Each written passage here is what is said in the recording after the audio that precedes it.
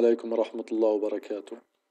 كنا في الدرس السابق تعرفنا كيفية إنشاء database وكيفية إنشاء table باستخدام جملة create في لغة ال SQL ضمن بيئة ال SQL Server 2014 اليوم بإمكاننا نتعرف على كيفية حذف هذا الجدول.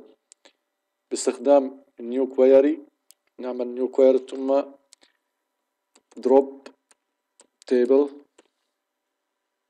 الكلمة المفتاحية drop table. واسم ال table مباشرة اللي هو person. ثم semicolon execute. نعم.